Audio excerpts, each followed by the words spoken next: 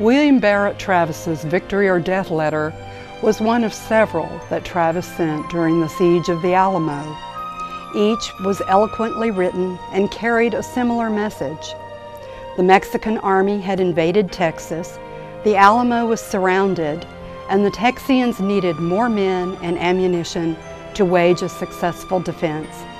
It is likely that at the first, Travis believed help would come, and that even if it did not, victory could still be achieved.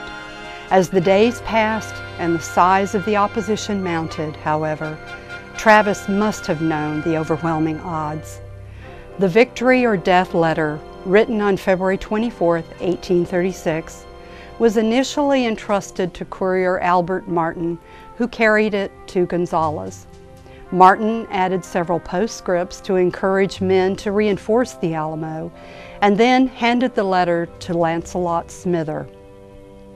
Smither added his own postscript and delivered the letter to its intended destination of San Felipe. Local publishers printed over 700 copies of the letter, and it also appeared in the two main Texas newspapers. Eventually, it was printed throughout the United States and Europe. Partially in response to the letter, men from throughout Texas and the United States began to gather in Gonzales. A small portion of them reached the Alamo before it fell. Every combatant Texian was killed at the Battle of the Alamo when the Mexican army attacked on March 6. Travis was one of the first to die.